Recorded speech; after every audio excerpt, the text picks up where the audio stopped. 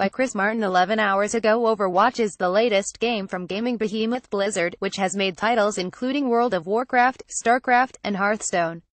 The game's been out for ages now, but Blizzard is still regularly releasing free updates to keep the game's community engaged. Here's everything you need to know about the game, including the latest news and rumors about deals, new heroes and maps, and seasonal events. And if you want to know what we thought of the game, read our full Overwatch review. When was the Overwatch release date after months of waiting? Overwatch was released on the 24th of May 2016. What platforms is Overwatch on? Overwatch is available for PC, PS4 and Xbox One.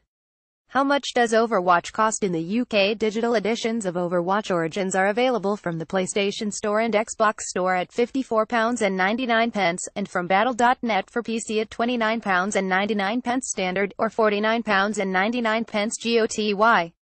You can also buy Overwatch Origins from various online retailers. The best deal we found was at Amazon for £26. To mark the game's one-year anniversary, Blizzard is also releasing a Game of the Year edition of Overwatch which will be available digital only from the 23rd of May 2017. It's a bit of an odd GOTY edition though, as most of the bonus goodies are for other Blizzard games. Within Overwatch itself, you'll get 10 free loot boxes and a handful of hero skins. Elsewhere though, you get to play as Tracer in Heroes of the Storm, can have a baby Winston pet in World of Warcraft, can equip Mercy's wings in Diablo 3, and get Overwatch portraits for StarCraft 2 and card backs for Hearthstone. Who are the playable heroes with 21 characters or heroes at launch and two more added since Overwatch has a similar feel to a MOBA like Heroes of the Storm. Rather than simply picking a different skin, you will be able to play a character which suits your style.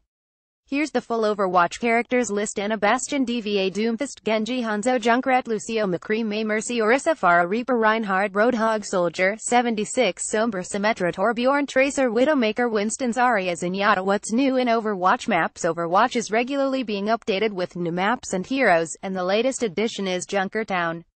It's an escort map located in the Australian outback. Blizzard says it is constructed from the remains of a destroyed Omnium. It's now the home to a band of lawless scavengers known as the Junkers, led by their cutthroat queen. When they aren't pillaging the Omnium's skeleton for anything of value, the Junkers blow off steam in the scrapyard, a massive gladiatorial arena whose combatants fight for glory, riches, dot and to survive. Here's a brief look at the map game modes the latest game mode to be added to Overwatch Deathmatch. While Blizzard has long said it's only interested in objective-based game modes for Overwatch, it's changed its tune by announcing the introduction of Deathmatch and Team Deathmatch modes within the arcade, along with a new map to play them on Chateau Guillard. Deathmatch is an 8-player free-for-all, where the first player to 20 points wins. A kill earns you a point, while dying from environmental or self-inflicted damage subtracts 1. Team Deathmatch is 6-6 and uses the same point system, with one wrinkle if a dead player is resurrected before they respawn, the opponents don't get the point.